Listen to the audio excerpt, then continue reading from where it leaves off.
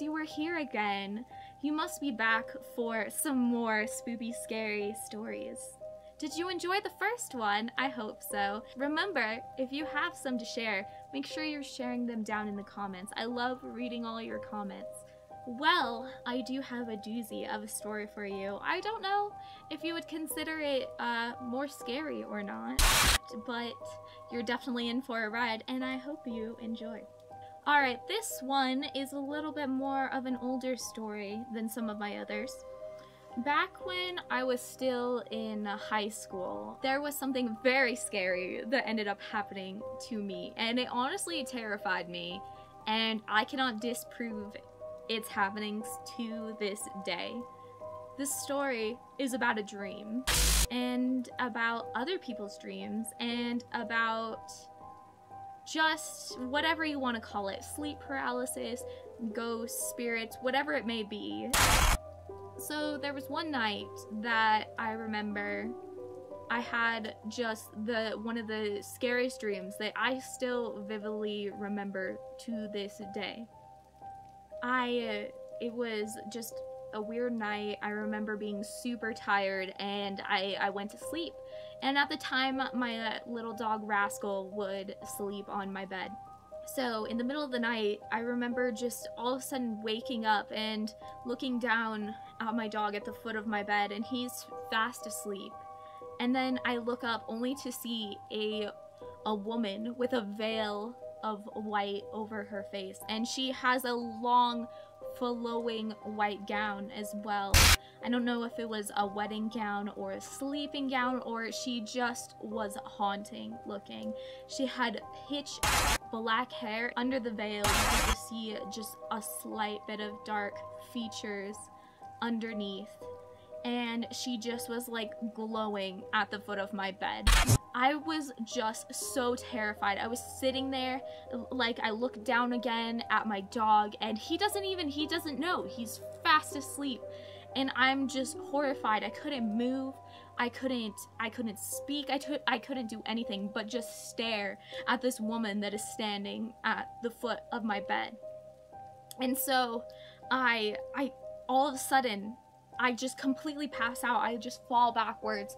And I remember waking up again in the morning and vividly remembering what happened. It was like I just passed out. Like, I don't know if it like from fear, from exhaustion. I was so terrified. So I proceeded to go to school that day. I, I told my parents about it in the morning and was talking about it. And then I was later sitting at lunch with one of my friends and I was telling her about this horrible dream that I had had and she just has this puzzled look upon her face like the whole time. And she's like did you did you already tell me that this morning? And I'm like no I you're the you're the only person I've told like at school like nobody else knows. And she's like are you sure? Like I swear I have heard like the identical story and I'm like, no, like you're the only person I've I've told. And so come to find out that my friend had told her earlier that day about a dream that she had had that was identical. So I end up at, talking to this other friend and I'm like, okay, like I think they're joking with me, right? Like I think they're they're pulling a prank, they're they're making fun of me, whatever. And she could tell me details of the story that I I hadn't told my friend. And so to this day, we are not able to debunk it. Like I she swore up and down that she had that dream. It was the same with her dog not noticing it, passing out after, waking up to a woman, like the woman looked the same, everything. And I can't I can't explain it. Super creepy.